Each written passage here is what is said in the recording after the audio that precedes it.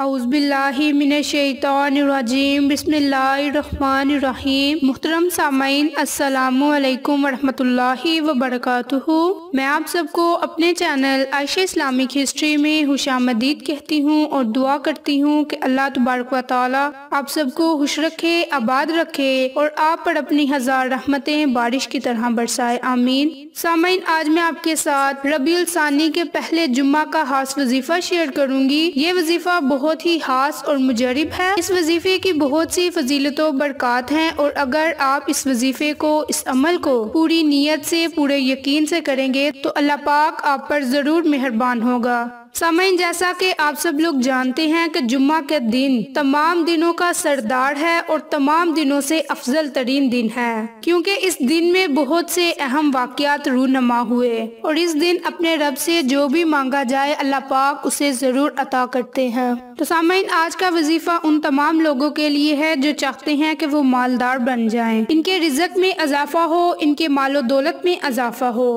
اور یہ اتنے امیر بن جائیں کہ یہ اپنے مال میں سے دوسرے لوگوں کی مدد بھی کریں۔ تو یہ وظیفہ بہت ہی خاص ہے، بہت ہی آسان ہے۔ آپ اس وظیفے کو ضرور کریں، انشاءاللہ آپ کو فائدہ ضرور ہوگا۔ رسول اللہ صلی اللہ علیہ وآلہ وسلم نے فرمایا، حضرت جبریل امین علیہ السلام سے میری ملاقات ہوئی۔ انہوں نے مجھے خوشخبری دی کہ آپ صلی اللہ علیہ وآلہ وسلم کے رب نے ارشاد فرمایا ہے کہ جو شخص آپ صلی اللہ علیہ وآلہ وسلم پر درود پاک پڑے گا، میں اس پر رحمتیں نازل کروں گا۔ اور جو آپ صلی اللہ علیہ وآلہ وسلم پر سلام بھیجے گا، میں اس پر سلامتی بھیجوں گا۔ تو آپ صلی اللہ علیہ وآلہ وسلم نے اللہ کی بارگاہ میں سجدہ شکر ادا کیا۔ حضرت ابو حرارہ رضی اللہ عنہ سے مروی ہے کہ رسول اللہ صلی اللہ علیہ وآلہ وسلم نے فرمایا اللہ تعالیٰ فرشتوں سے فرماتا ہے کہ جب میرا بندہ برے کام کا ارادہ کرے تو اس کی کوئی برائی نہ لکھو۔ جب تک کہ وہ اس برائی کا ارتکاب نہ کر لے اور جب وہ برائی کر لے تو اس کے برابر ہی گناہ لکھو۔ اور اگر میری وجہ سے ترک کر دے تو اس ترک گناہ کو اس کے لیے ایک نیکی لکھ دو۔ اور جب اس نے نیکی کا ارادہ کر لیا مگر نیکی نہ کر سکا تو اس کے لیے ایک نیکی لکھ دو۔ اور اگر وہ اسے کر لے تو اس کے لیے دس گناہ سے سات سو گناہ تک لکھ دو۔ حضرت ابو حرارہ رضی اللہ عنہ سے روایت ہے کہ رسول اللہ صلی اللہ علیہ وآلہ وسلم نے فرمایا کہ جو اللہ اور آخرت کے دن پر ایمان رکھتا ہو اور اپنے پڑوسی کو تکلیف نہ پہنچائے اور اللہ اور آخرت کے دن پر ایمان رکھتا ہو، اس کے لیے لازم ہے کہ وہ مہمان کا اکرام ہے جو اللہ اور آخرت کے دن پر ایمان رکھتا ہو۔ اسے چاہیے کہ اچھی بات بولے اور چپ رہے۔ حضرت محمد صلی اللہ علیہ وآلہ وسلم کا ارشاد گرامی ہے کہ اللہ پاک کے نزدیک نیکیوں میں سے کوئی نیکی جمعہ کی رات یا جمعہ کے دن کی جانے والی نیکی سے زیادہ پیاری نہیں اور گناہوں میں سے کوئی گناہ اللہ پاک کے نزدیک جمعہ کی رات یا جمعہ کے دن کیے جانے والے گناہ سے برا نہیں۔ رسول اللہ صلی اللہ علیہ وآلہ وسلم فرماتے ہیں کہ جو آدمی تھوڑی سی روزی پر راضی ہو جاتا ہے، تو اللہ پاک بھی اس کے تھوڑے سے عمل پر راضی ہو جاتا ہے۔ تو سامعین، یہ تھی جمعہ کے دن کی مختصر سی فضیلت و برکات۔ تو چلیں آپ کا وقت ضائع کیے بغیر ہم اپنے مقصد کی طرف چلتے ہیں۔ وظیفہ ذکر کرنے سے پہلے میری آپ سب سے گزارش ہے کہ میری ویڈیو کو آخر تک ضرور دیکھیے گا۔ اور جن لوگوں نے ابھی تک میرے چینل عائشہ اسلامک ہسٹری کو سبسکرائب نہیں کیا وہ نیچے موجود لال رنگ کے بٹن کو دبا دیں اور ساتھ موجود گھنٹی کے بٹن کو دبا دیں تاکہ میری ہر نئی آنے والی ویڈیوز کی اپڈیٹ آپ تک بآسانی پہنچ سکے۔ جزاک اللہ۔ وظیفہ کرنے کا طریقہ کار اچھی طرح سن لیں اور سمجھ لیں کہ آپ نے اس وظیفے کو کس وقت کرنا ہے اور کس طریقہ کار سے کرنا ہے، یہ بھی دھیان سے سن لیں۔ سامعین، جیسا کہ میں آپ کو پہلے بھی بتا چکی ہوں کہ یہ وظیفہ رزق میں اضافے کے لیے وظیفہ ہے، مالدار بننے کے لیے وظیفہ ہے مال و دولت میں اضافہ کرنے کے لیے وظیفہ ہے۔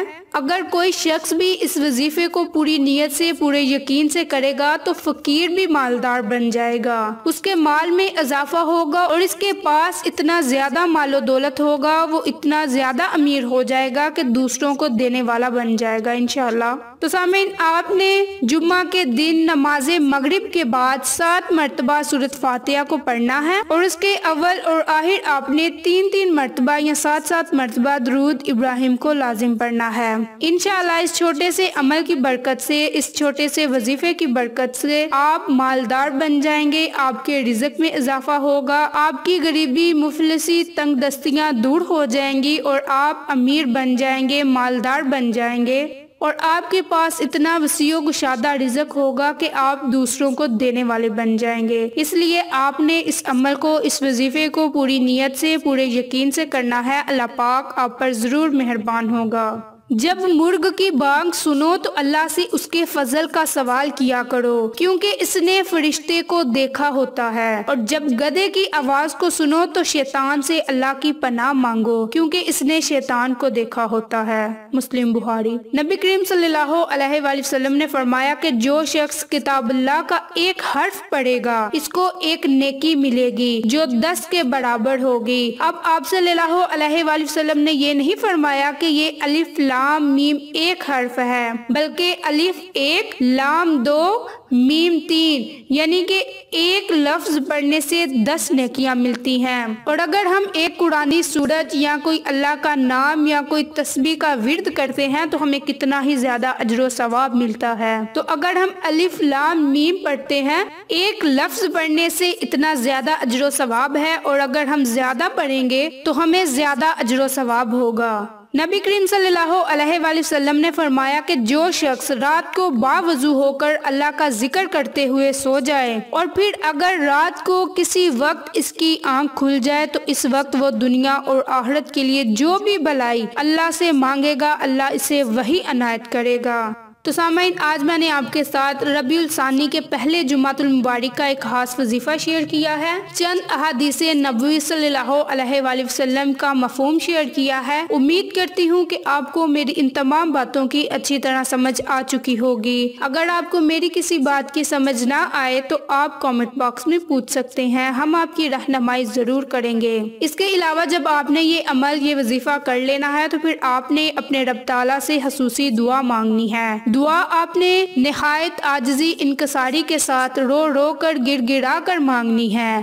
انشاءاللہ اللہ پاک آپ کی ہر دعا کو سنے گا، ہر دعا کو قبول فرمائے گا۔ آخر میں اللہ سے دعا ہے کہ اللہ ان تمام اہم باتوں پر مجھے اور آپ تمام سامعین کو عمل کرنے اور یہ وظیفہ مجھے اور آپ تمام سامعین کو کرنے کی توفیق دے۔ سرات المستقیم کے رستے پر چلنے کی توفیق دے۔ حضرت محمد صلی اللہ علیہ وآلہ وسلم کے بتائے ہوئے رستوں پر عمل کرنے کی توفیق دے۔ آمین۔ آپ کو ہماری ویڈیوز پسند آئیں تو اسے لائک، شیئر اینڈ سبسکرائب کیجیے تاکہ میری ہر نئی آنے والی ویڈیوز کی اپڈیٹ اب تک بآسانی پہنچ سکے۔ جزاک اللہ۔ انشاءاللہ پھر کسی نئی ویڈیو کے ساتھ یا پھر اچھی معلومات کے ساتھ یا پھر اچھے وظائف کے ساتھ آپ کی خدمت میں حاضر ہوں گے۔ تب تک کے لیے اجازت دے السلام علیکم ورحمۃ اللہ وبرکاتہ۔